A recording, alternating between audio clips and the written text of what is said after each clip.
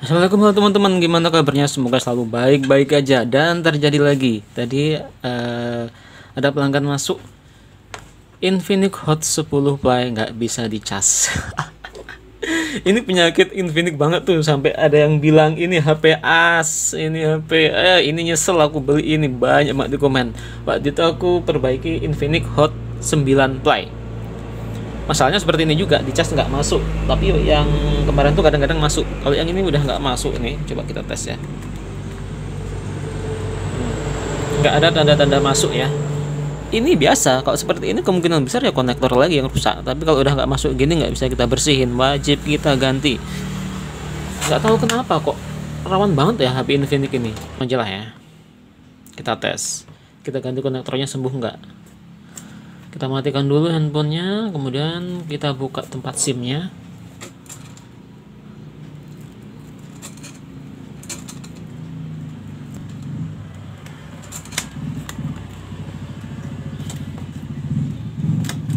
Kita buka backdoornya.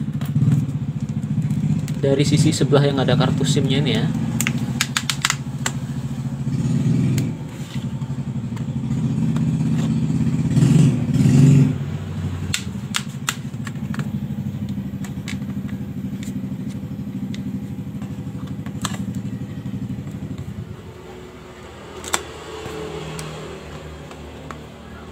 Oke, ini belum pernah terbongkar ya. E, di sini masih ada segel, segel baut. Di sini juga masih ada segel baut. Jadi ini HP ini memang belum pernah dibongkar. Oke, kita akan perbaiki ganti konektornya.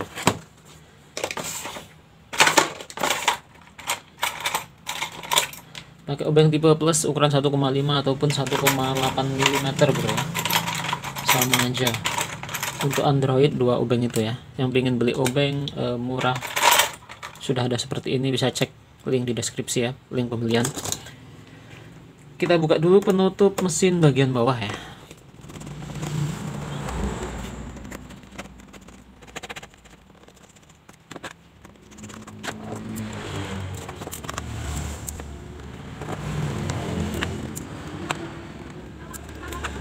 Lepas kemudian kita buka kita buka penutupnya ya. Kita lepas dulu. Uh, kabel fleksibel dari mesin atas ke mesin bawah ya. Nah. kemudian antena. Buat teman-teman bisa juga ganti satu set ini. Kalau nggak nggak ada solder uap kan bisa ganti langsung ini ya. Nah. tapi kelemahannya biasanya micnya kurang bagus seperti itu ya dan kalau udah ganti ini eh, kadang masuknya tetap lambat atau nggak masuk coba cek konektornya ini pas apa enggak gitu kalau kendor pun ini jadi masalah terkadang ya. Kalau ini akan aku ganti konektor ini, ininya aja ya. Nah akan aku ganti konektor ini. Ganti konektor ini butuh solder uap teman-teman. Jadi kalau nggak punya ya bisa ganti satu set ini nyoba. Itu harganya paling 50 ribuan ya di online. PCB charger Infinix gitu ya papan PCB charger Infinix gitu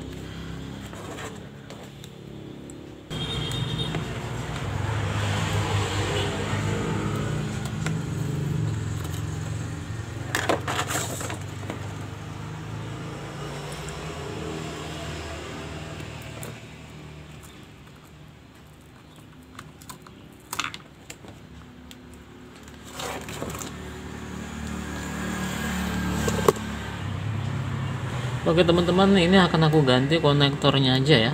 Ini ya. Kita singkirin dulu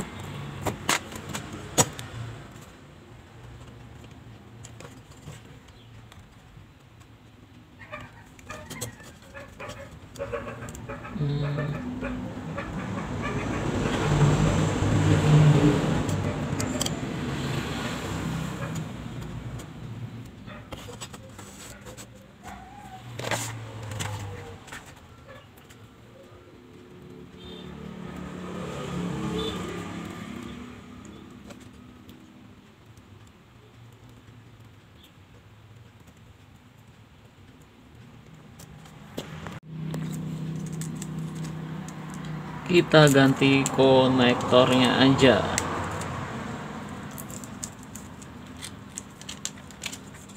Biaya perbaikan seperti ini ya lumayan mahal bro.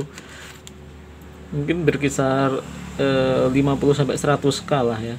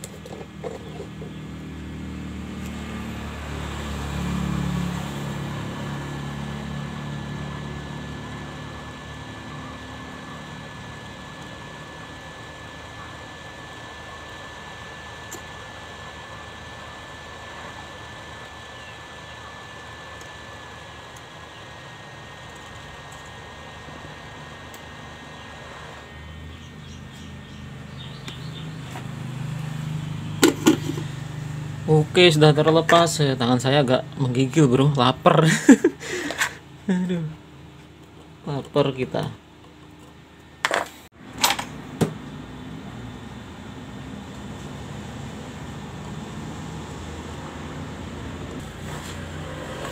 Oke, kita ganti dengan yang baru ya. Nah, itu yang lamanya, kita ganti dengan yang baru. Hmm.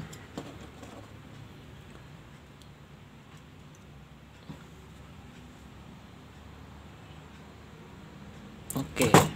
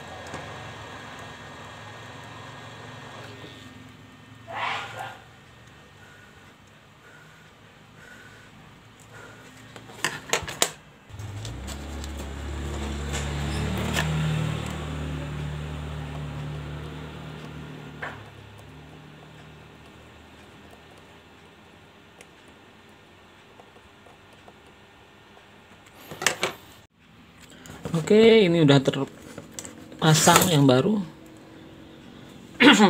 Coba kita tes ya.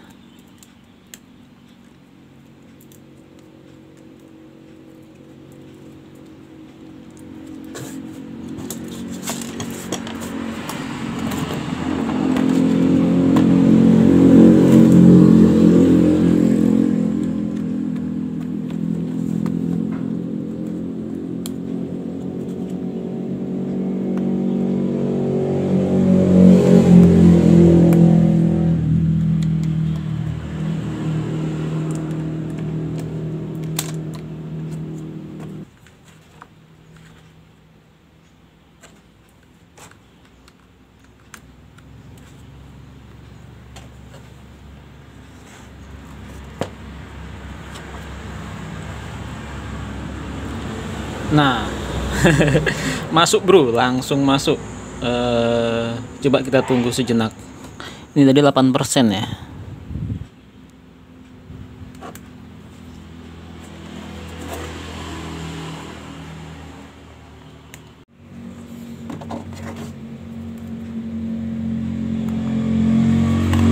Sepuluh persen, oke artinya berhasil ya bro, dia sudah masuk kemudian tinggal kita pasang-pasang lagi penutup mesinnya ya. Untuk teman-teman yang mengalami masalah seperti ini ya bisa bawa ke counter ya. Diganti ininya konektornya ataupun uh, ini PCB ini ya. Nih satu set ini. Satu set ini bisa juga itu beli online.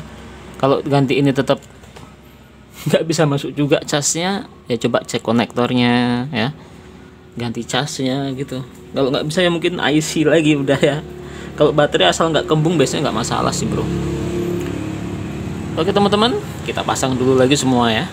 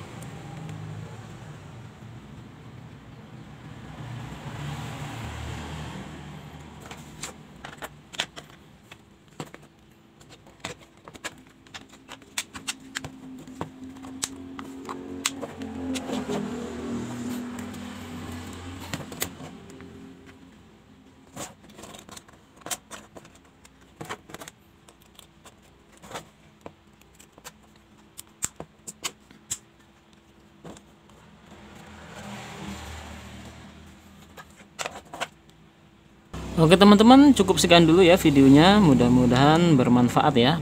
Buat teman-teman yang udah terlanjur punya Infinix dan ngeluh di cas nggak masuk di cas nggak nambah ya. Selama ini sih aku ganti konektor sembuh bro. Bahkan ada yang aku bersihin aja konektornya gitu pakai thinner atau pakai minyak kayu putih gitu kalau masih seret ya. Itu sembuh juga. Tapi rata-rata ganti konektor sembuh. Oke.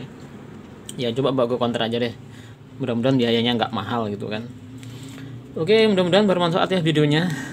Sampai jumpa di video gue selanjutnya. Assalamualaikum warahmatullahi wabarakatuh